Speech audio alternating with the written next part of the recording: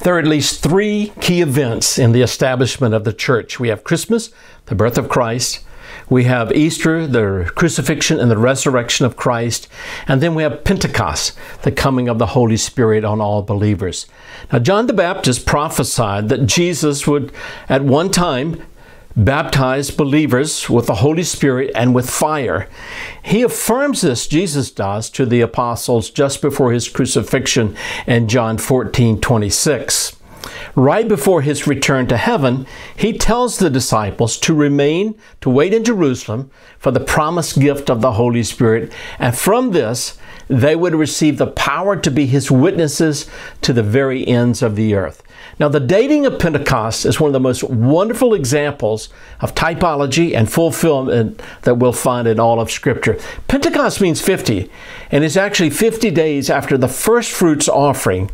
The Feast of First Fruits occurred on the day after the Jewish Sabbath of the Passover week. That would be a Sunday for us. Pentecost then was the day after the seventh Sabbath following Passover week, the 50th day after the first fruits offering. Leviticus 23 explains how all those dates are decided.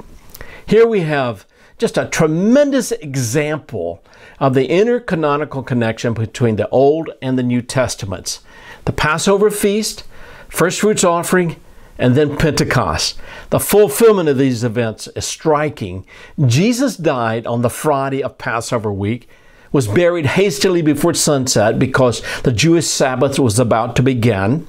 His body remained in a borrowed tomb throughout the Sabbath. Then, the day after the Sabbath, which is Sunday for us, the priest offers or makes the first fruits offering in the temple. Christ arose from the dead on the day of first fruits offering. Paul says Jesus is the first fruits of them who have fallen asleep. After Jesus' ascension to heaven, the men, they, they returned to Jerusalem just as he told them to do. They joined together in prayer in an upper room. And then, on the day of Pentecost, just as promised, the sound of a rushing wind filled the room. Tongues of fire came to rest on each of them, and all of them were filled with the Holy Spirit. They were given extraordinary power to communicate the gospel to those around them.